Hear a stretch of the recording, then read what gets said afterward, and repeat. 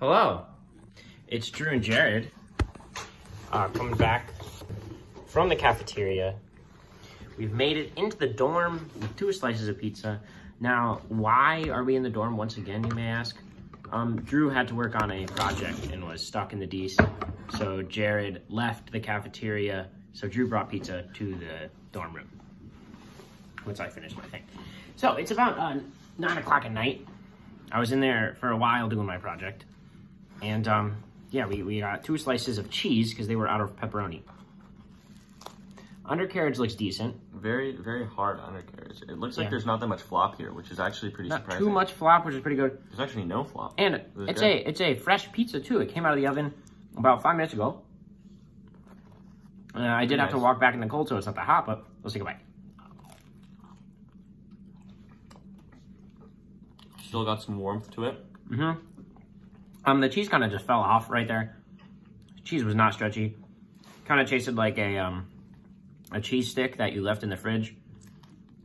And you know, you take a bite out of that cheese stick when it's like kinda left out in the open for a little bit, and it's just like you like a mozzarella stick is a better way to say it. Yeah. When you leave it on the counter for like ten minutes after you make them. The cheese really isn't part of the pizza. It's more just kind of like on top of there. The crust is just very hard. Um, Yeah. You know, I'm gonna give this five nine. It just seems like, you know, it's not great. It's not better than average. It's around average. I gave it nine because, um, or whatever, five eight or something like that.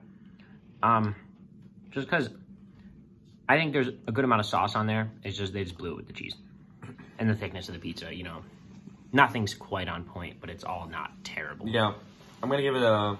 I'm gonna give it a four nine. I don't. I think this is kind of below average. Like the crust is not amazing. All right. Cheese is mediocre. It's it's fine. About average, but not Yeah. great. All right. Well, we'll see you guys tomorrow on the 29th. Bye bye. I mean, March 2nd.